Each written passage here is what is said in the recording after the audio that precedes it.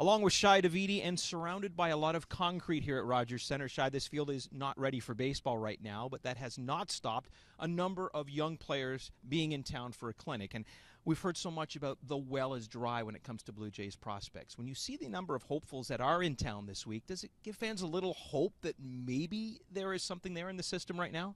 Well, the big difference, Barry, between the Blue Jays farm system this year in comparison to last year is that a lot of the, the talent in the lower levels is starting to mature and is starting to populate the upper levels of the system. And last season, when the Blue Jays didn't really have a lot of options at Double A and Triple A, especially of the homegrown variety, the Blue Jays are going to have that this year. There's going to be guys like Rowdy Tellez who could possibly break through the first base slugging prospect. Someone like Reese McGuire, the catcher acquired last year in the Liriano deal, is going to be hanging around and, and maybe able to break through. Outfielder Anthony Alford continues to make progress. So that's where the the big difference in the Blue Jays farm system uh, this year is compared to last season. There's starting to be a lot, a little bit more maturity, and that's going to potentially help the big league club for the folks that are unaware, maybe you can explain a little bit about what is going on here this week. Well, this is a, a program that the Blue Jays had started uh, a number of years back where they invite a, a series of prospects who potentially have the chance to break through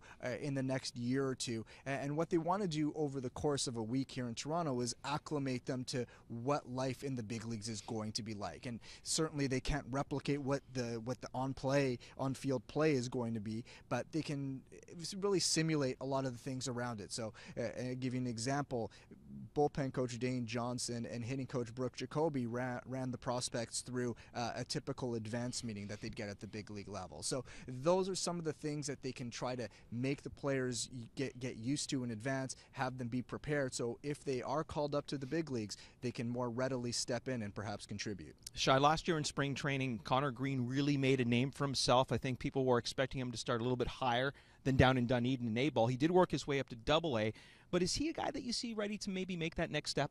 Well, he's uh, another one of those players who is on the cusp and, and could start making some progress. Now, uh, what we've seen from this Blue Jays front office is they're, so far at least, is they're a bit more deliberate in their plans for prospects. They have certain check marks at every level before they want to advance a player. Uh, and so if he's going to be able to continue the progress that he made last year and, you know, big big areas of, of gain for him last year were in, in, his focus on the mound and his routines off it and becoming a bit more consistent. And that led to him to be able to get uh, some more quick outs on the mound, which helped him get deeper into games. If he can continue that and the Blue Jays have a need, he, he could perhaps get, break through. But again, we've seen this, this, this front office be very deliberate with its prospects particularly with pitchers, and we'll see whether or not that continues. Well, believe it or not, spring training is about a month away for pitchers and catchers reporting in Dunedin, and we are getting very close to baseball starting up once again.